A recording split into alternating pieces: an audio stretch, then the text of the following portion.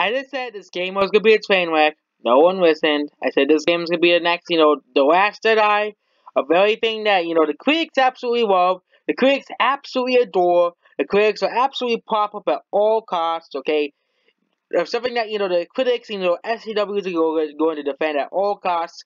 Pokemon Sword and Shield is the next Last Jedi. Okay, people have been saying, "Oh, it won't be the next Last Jedi." It's you know, it's on the Switch. It's Pokemon. Okay, I think all these people saying, "How can Pokemon? How can it be bad? It's Pokemon." Yeah, that's the little evidence these Game Freak apologists have. It's it's just small evidence. They have it's being good, okay? And despite the PokeTubers, okay, saying how awesome this game is and saying how great this game is and posting how this is the best one of the best Pokemon games ever.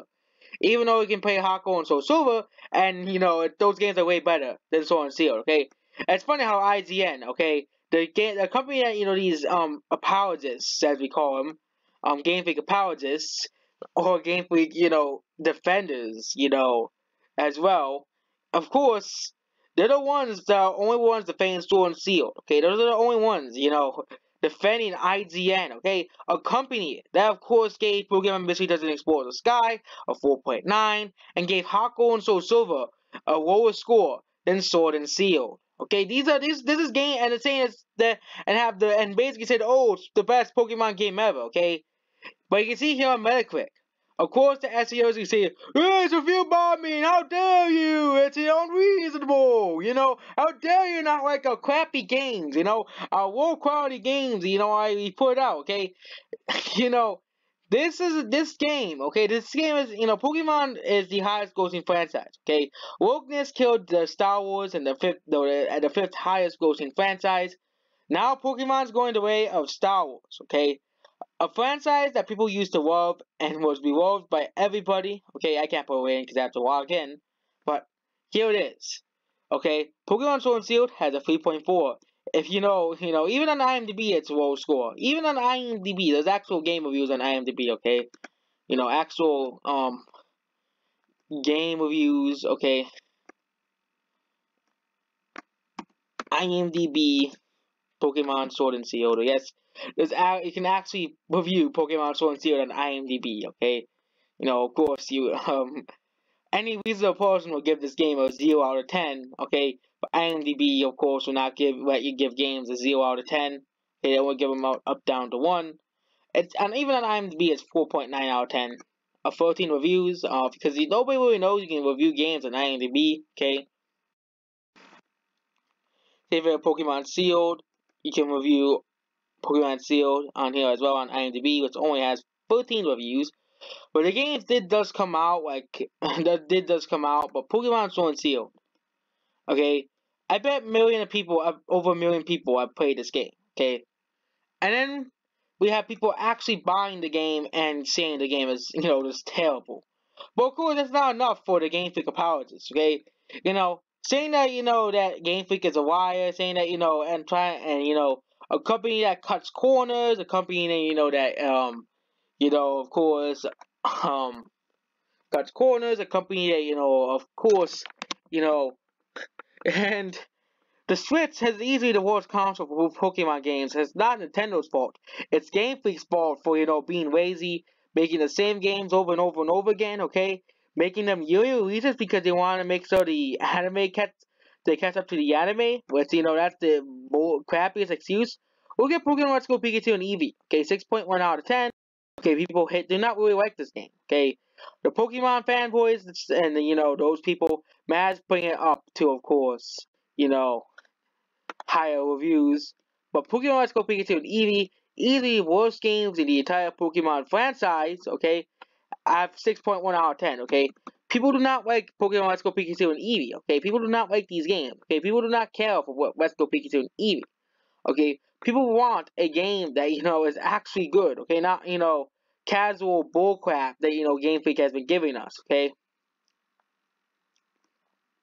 And, and, yes, so this is basically a sign to Pokemon to come and no one listen to me. Like I said, Pokemon and Gen 8 is kind of doomed because they're gonna make because I was saying that, you know, they're gonna cut features and stuff, and yeah, and I was worried about that. Okay, Let's Go Pikachu and Eevee were warning signs to us, okay? But you guys still mad to make this game PokeTubers, okay? Yeah, you know, Super and all these other big PokeTubers of 400,000 plus subscribers, okay? You guys are the ones that made this game sell 11 million copies, okay? Trying to say it's, this is a great, one of the best Pokemon games in all the world. Oh, you know, how dare you, boo-hoo, okay? You know, oh, there's a new game coming out, okay? Okay, Pokemon, okay, Sun, Ultra Sun Moon, okay, it's, a, it's easily the most criticized games in the franchise, okay? The most criticized games in the franchise, Pokemon, oh, I think it's only Switch games. Ultra Sun, Ultra Moon, um, okay, Pokemon Ultra Sun, for example, okay, 8.8, okay, 8.8 out of 10. Even the most criticized games in the franchise, 8.8. Or look at that Pokemon Diamond, okay? Pokemon Diamond, okay? We're not going over movies or spin-offs, we're going over the main series games only. Okay? Pokemon Diamond and other games, which are some of the most criticized games in the franchise. 8.0 which is still higher than Pokemon Sword and Shield. Still higher than Let's Go Pikachu and Eevee. And that doesn't have that much reviews either. Only 385 reviews, okay? You know. And, you know, let's look at, you know, HeartGold, Hot Gold for, and so, so, far, this is Embassy using, you know, HeartGold, another DS game, okay? You know, the considered the best in the entire franchise, 8.4. Some spy, which only has 395 ratings okay, here as well. Um, black and white. And of course, these games here on the internet were smaller. Okay, black and white, black version. Okay, 7.6 was probably all the 1ers trying to vote down this game because it didn't have, you know, have my, my, yes, yes, yeah, of course. This, this is, Gen, proud Gen 1er. That's the negative review for Pokemon Black and White. Forced me to add characters to Pokemon. And uh, you know, that's you know the Gen 1s are trying to vote this game down. And we had um Black 2, okay? You know, Black version 2, okay, was many people consider one of the best in the series, besides Gen 1ers. Of course, you know, Gen 1 not like who are blinded by nostalgia but there's a reason why it's only at 7.6. But I think Black and White 2 are easily, you know, they're, they're, they're not the best in the franchise, but they're pretty great, you know, games in the franchise, okay? Pokemon X and Y, okay? Pokemon X and Y. And then Pokemon X and Y had a higher scores for some reason than the other games, for some reason. Um, but of course, that has way more reviews. It's at 0.6 um, Pokemon, which I think where all the Pokemon games really are gonna be, what are we at, okay? Sun and Moon, okay? You know, Pokemon Sun, um, yeah, 8.3, which of course a lot of people criticize overall for its for reasons, beyond reasons, okay? But then we have Golden Go Pikachu and Eevee, they're the lowest rated in the franchise, okay? You know, and of course people have Emerald and, you know, Ruby and Sapphire, and Ruby and Sapphire, Ruby and Sapphire, you know, and you know the the and then of course let's go back to modern day, 2019, okay, 2019, the Switch, okay, everyone was excited for Pokemon Sword and even I was excited for the game when it was first revealed. I said Nintendo Game Freak actually listened to us, okay.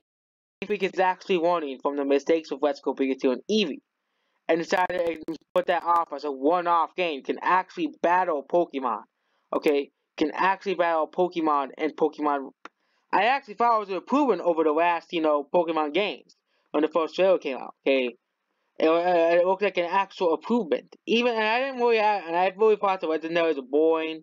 I always thought, oh, I wish they were, I wish legendaries were not just boring dogs, okay? Um, you know. But then we have now down to November 15th, 2019. A franchise I used to love is now hated by many, including myself, okay? Because Game Freak is just so lazy, okay? They don't want to make games that, you know, people will remember forever, okay? They want to make games just for a quick cast grab. You can see here on Metacritic is at 3.4, and you're gonna think that Shield has much better reviews. You're gonna think that this game has much better reviews, okay? You're gonna think, nope, it has a 3.2, which, you know, that's version. So, of course, as, you know, here, um, and most supportive review I ever review on Metacritic. These are the best games ever made. Of course, you know, um, Japan only having four Pokemon RPGs and Final Fantasy and Xenoblade Persona usually have some of its characters play as, yet people are upset about 400, bad argument, bad graphics. That's true. The game's graphics, okay, have you looked at Dragon Quest XI or uh, Dragon Quest 11, okay? 8 point, people love that game. There's a lot of content in that game. There's a lot of, you know, monsters you have to fight, okay? You know, a lot of, you know, 700 plus enemies in the game, okay? You know, code of their own unique animations and everything, okay? You gonna tell me that crap, okay? And the graphics of Dragon Quest 11, they look beautiful, okay? They look way much better than Pokemon Sword and Shield, and they have the same, they have the same anime style graphics, okay?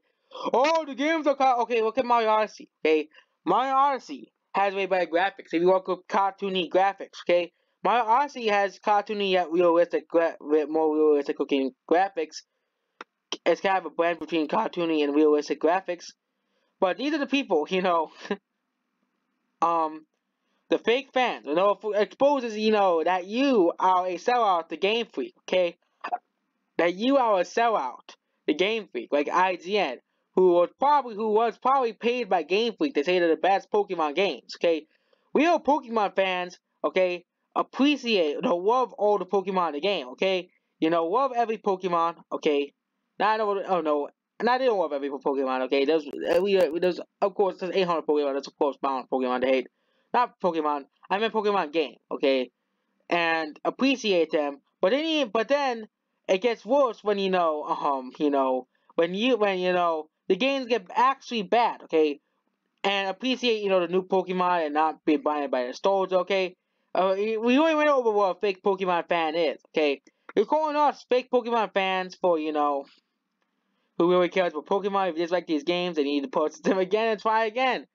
If you don't buy them, then don't talk. This game is basically, this guy is basically telling you to not talk about these games because it's unreasonable, you know. Um, I really love it, but the whole kind of National Dex sucks, okay, you know. But of course, if you, you know, you know, you know, it's just